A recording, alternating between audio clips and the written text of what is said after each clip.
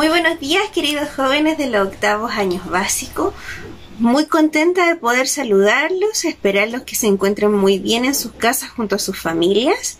El día de hoy les quiero hacer este pequeño videíto en donde les voy a hacer un poquito de las orientaciones con respecto a la guía de instrucciones de la semana número 19 y 20, lo que corresponde del 10 al 21 de agosto. ¿Ya? El día de hoy vamos a trabajar la guía de lengua y literatura la que tiene por objetivo formular una interpretación de los, de los textos literarios y no literarios, lo que corresponde a lo número 8. Dice la guía que los alumnos deben leer la lectura La huella del pulgar de San Pedro, de la página 68 al 82, en donde después que lean el texto deben responder una serie de preguntas.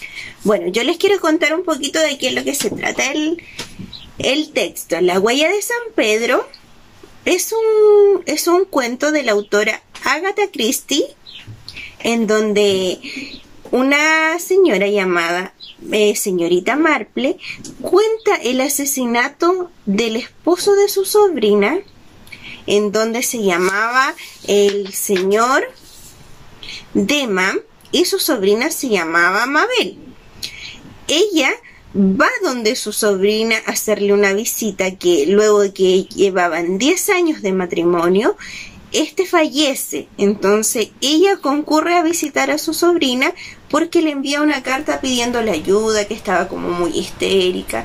Entonces ella fue a visitar a su sobrina. Y ahí se da cuenta que la gente del pueblo estaba murmurando o estaba hablando que la sobrina había sido la asesina de su esposo, cosa que no era verdad. Entonces ella se propuso eh, investigar o descifrar el asesinato, quién había sido el culpable de ese asesinato.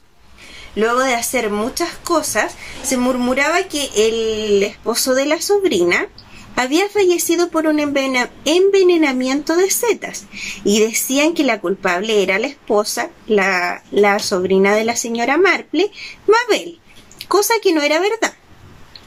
Entonces la, la señorita Marple se puso a buscar pruebas, a hacer investigaciones, exhumó el cuerpo y ahí logró determinar que la persona que había asesinado al, al señor Denman era el papá de este, ya que el papá tenía un poco de histeria, de locura, entonces él escuchó que le decía a su esposa que quería meterlo a un a un asilo de ancianos y él no quería, entonces él lo mató para poder eh, librarse de eso, él no quería irse a un asilo.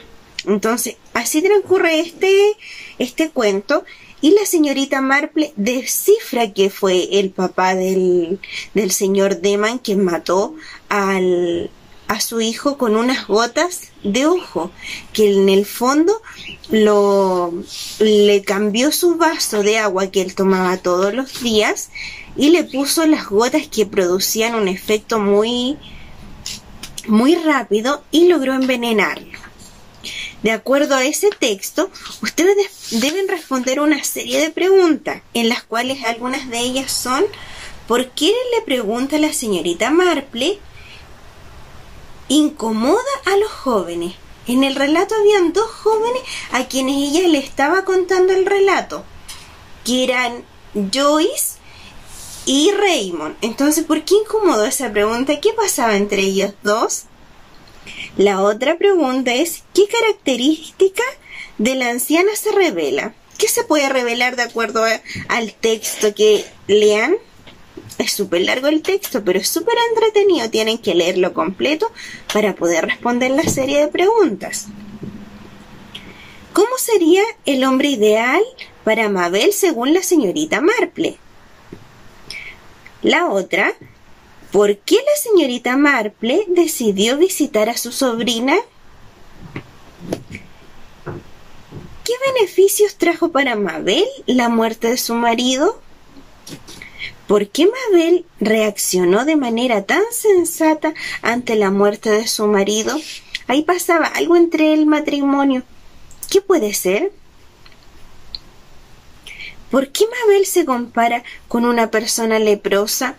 En el cuento pasa que Mabel no, no era bien vista. ¿Por qué era? ¿Qué situación refleja la inquietud de la señorita Marple? ¿Qué quiso decir la señorita Marple con un sitio como este? Los asuntos privados de todo el mundo son pocos o más o menos de dominio público. Con ese dicho, ¿qué quiso decir la señorita Marple? ¿Por qué la señorita Marple quiere exhumar el cadáver de Deman, del señor Deman, del esposo de Mabel? ¿Qué quiere comprobar con eso? ¿De qué manera la exhumación del cuerpo aporta a la resolución del enigma? ¿Qué pistas avalan la hipótesis de que fue al anciano señor Deman que mató a Geoffrey o al señor Deman? Esas son las preguntas que ustedes deben responder en el cuaderno. Espero les haya servido un poquito mis orientaciones. Espero verlos muy pronto, que estén todos muy bien en sus casas.